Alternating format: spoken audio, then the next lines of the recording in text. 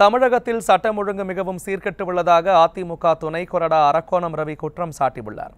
ராணிப்பேட்டை மாவட்டம் அரக்கோணம் அருகே நடைபெற்ற பொதுக்கூட்டத்தில் பேசிய அவர் எதிர்வரும் நாடாளுமன்ற தேர்தலில் நாற்பது தொகுதிகளிலும் அதிமுக மாபெரும் வெற்றி பெறும் என்று தெரிவித்தார்.